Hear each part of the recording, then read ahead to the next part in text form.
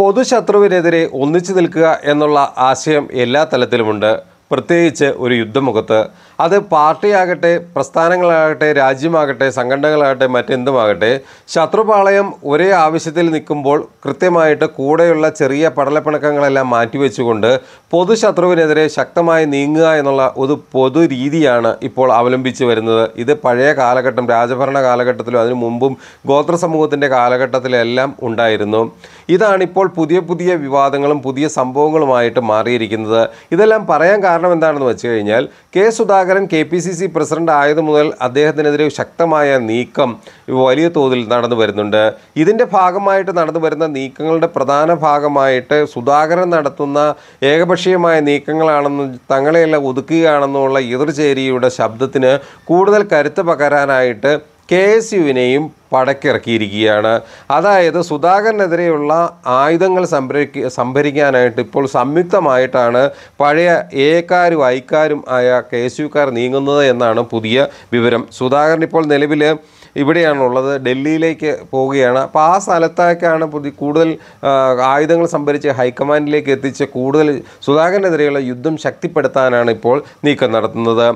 സംഘടനാപരമായ പിന്നോട്ടടി ഫണ്ട് പിരിവിലെ സംശയങ്ങൾ കാസർഗോഡ് തിരുവനന്തപുരം അടക്കം പല മണ്ഡലങ്ങളിലും പാർട്ടിയും സ്ഥാനാർത്ഥിയും തമ്മിലുള്ള ഭിന്നത തുടങ്ങിയ എല്ലാ പ്രശ്നങ്ങൾക്കും കാരണം സുധാകരന്റെ പിടിപ്പുകേടാണെന്നും പിടിവാശിയാണെന്നുമാണ് സ്ഥാപിക്കാനുള്ള നീക്കം. ഈ കാര്യങ്ങളെല്ലാം ഹൈക്കമാൻഡിനെ വിശദമായി ധരിപ്പിക്കാനുള്ള ഒരു ശ്രമമാണ് ഇപ്പോൾ നടത്തി വരുന്നത് കെ പി സി സി നേതൃത്വത്തിനെതിരെ കെ എസ് യു കൂടി രംഗത്തെത്തിയതോടെ സുധാകരൻ തീർത്തും ഒറ്റപ്പെടുന്ന ഒരു സാഹചര്യത്തിലേക്കാണ് നീങ്ങുന്നതെന്ന് കോൺഗ്രസ് രാഷ്ട്രീയം നിരീക്ഷിക്കുന്ന നിരീക്ഷകർ തന്നെ പറയുന്നുണ്ട്. കാരണം കോൺഗ്രസിൽ തമ്മിലടി പടലപ്പിണക്കവും ഗ്രൂപ്പ് പോലും എല്ലാം സഹജമായിട്ട് നടക്കുന്നതാണെങ്കിലും ഇപ്പോൾ സുധാകരനെതിരെ ഏകോപിപ്പിച്ച രീതിയിലേക്ക് ഒരു വലിയ വിഭാഗം രംഗത്ത് വരുന്നു എന്നുള്ളത് സുധാകരന്റെ ഭാവിയെ തന്നെ അല്ലെങ്കിൽ K P C C president എന്ന ഭാവിയെ തന്നെ വലിയ തോതിൽ ബാധിക്കും എന്നുള്ള കാര്യത്തിൽ തർക്കമില്ല.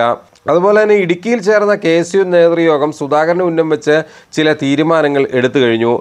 അതായത് കൃത്യമായി നടക്കേണ്ട പ്രവർത്തനത്തിന് ആവശ്യമായ സഹായം നൽകുന്നില്ല. നേതാക്കൾക്കും വിദ്യാർത്ഥികൾക്കും എതിരെയുള്ള കേസ് നടത്താൻ പോലും പറ്റുന്നില്ല.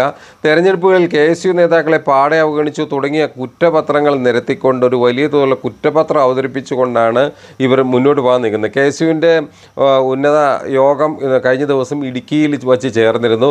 ആ യോഗത്തിൽ ഇന്നലെ ചേർന്ന യോഗത്തിലാണ് ഇപ്പോൾ കൂടുതൽ പ്രശ്നങ്ങൾ ഉരുത്തിരിഞ്ഞിരിക്കുന്നത്. അതായത് സുധാകരനെതിരെ കൂടുതൽ ആരോപണങ്ങളും ആക്ഷേപങ്ങളും ഉന്നയിച്ചുകൊണ്ട് പോകാനുള്ള ഒരു ശ്രമമാണ് ഇപ്പോൾ സംഘടനാ തലത്തിൽ നടത്തി വന്നുകൊണ്ടിരിക്കുന്നത്. കെ പി സി സി അധ്യക്ഷ സ്ഥാനത്ത് തിരിച്ചെത്തിയ സുധാകരന്റെ വിജയമായാണ് ഒരു വിഭാഗം കാണുന്നത്. തെരഞ്ഞെടുപ്പിന്റെ പേര് പറഞ്ഞ് തൽക്കാലത്തേക്കും പിന്നീട് സ്ഥിരമായിട്ടും അകറ്റി നിർത്താമെന്ന ആസൂത്രിത പദ്ധതിയാണ് പൊളിച്ചു കളഞ്ഞതെന്ന് ഇവർ സമർത്ഥിക്കുന്നു. അതായത് ശരിക്കും പറഞ്ഞാൽ ഈ സുധാകരനെ എം പി സ്ഥാനത്തേക്ക് കണ്ണൂരിലേക്ക് സീറ്റ് കൊടുത്തതിന്റെ പിന്നിൽ K P C C president മാറ്റ സ്ഥാനത്ത് നിന്ന് മാറ്റാനുള്ള ഒരു നീക്കമായിരുന്നുവെന്ന് ആദ്യം മുതലേ പരക്കെ തന്നെ ആക്ഷേപം ഉയർന്നിരുന്നു. അതുപോലെ തൽക്കാലം മാറ്റി നിർത്തിയിട്ട് പിന്നീട് പൂർണമായി ഒഴിവാക്കാനുള്ള ഒരു ശ്രമം നടത്താനായിരുന്നു ഇവരെല്ലാം പദ്ധതി ഇട്ടിരുന്നത് പക്ഷേ ആ പദ്ധതി പാടെ പൊളിഞ്ഞുപോയി. വി ഡി സതീശിന്റെ നേതൃത്വത്തിലാണ് ഇത്തരം നീക്കം നടന്നതെന്നുള്ള ആക്ഷേപങ്ങളും കാര്യങ്ങളും എല്ലാം അന്നേ തന്നെ ഉയർന്നു വന്നിരുന്നു. അതായത് സുധാകരന് നേരിട്ട് കാര്യങ്ങൾ അതായത് കളി ബോധ്യപ്പെട്ടതോടെയാണ് സുധാകരൻ കാര്യങ്ങളും കുറ്റപത്രവും മറ്റു വിഴുപ്പ് പാണ്ഡങ്ങളുമായിട്ട് ഡൽഹി ഹൈക്കമാൻഡിലേക്ക് ഇപ്പോൾ പോയിരിക്കുന്നത്. കാരണം അവിടെ ചെന്ന് കാർഗയെ കണ്ട കാര്യങ്ങൾ ബോധിപ്പിക്കണം എന്നുള്ള ഒരു ഒറ്റ ഉദ്ദേശത്തിലാണ് സുധാകരന്റെ യാത്ര. ഏതായാലും കാർഗയെ കാണാനുള്ള ഇത് കിട്ടിയിട്ടില്ല അപ്പോയിൻമെന്റ് കിട്ടിയിട്ടില്ല. അത് കിട്ടിയാൽ ഉടനെ തന്നെ കാണുമെന്നാണ് പ്രതീക്ഷിക്കുന്നത്. അധ്യക്ഷ സ്ഥാനത്ത് നിന്ന് പെട്ടെന്ന് നീക്കാൻ കഴിയില്ലെന്നാണ് സുധാകരനോടൊപ്പമുള്ളവരുടെ വിശ്വാസം. മുന്നോട്ട് വെച്ച കാൽ പിന്നോട്ട് വയ്ക്കില്ലെന്ന നിലപാടിലാണ് സുധാകരനും കൂട്ടരും ഡൽഹിയിൽ നിന്ന് മടങ്ങിയെത്തിയാലുടൻ വീണ്ടും ഡി സി സി അധ്യക്ഷന്മാരുടെ യോഗം വിളിച്ചു ചേർത്ത് ആ നേതൃയോഗങ്ങൾ സംഘടിപ്പിക്കാനാണ് ഇപ്പോൾ സുധാകരൻ ലക്ഷ്യമിടുന്നത്.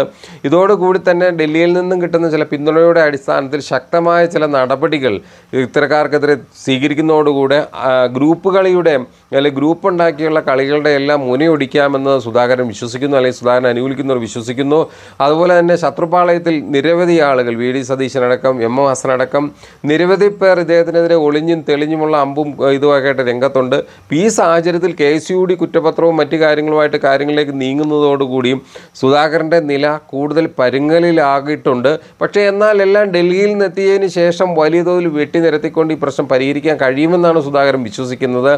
എന്തായാലും മഴക്കാലമാകുന്നതോടെ വലിയ തോതിലുള്ള കാറും കോളും നിറഞ്ഞ ആകാശത്ത് നിന്ന് മഴ ശക്തമായി പെയ്തിറങ്ങും എന്ന് പറയുന്നതുപോലെ കോൺഗ്രസിലേക്കും ഈ ജൂൺ മാസം ആദ്യവാരത്തോടുകൂടി വലിയ വലിയ പേമാരികൾ ഇറങ്ങും എന്നുള്ള കാര്യത്തിൽ യാതൊരുവിധ സംശയവുമില്ല.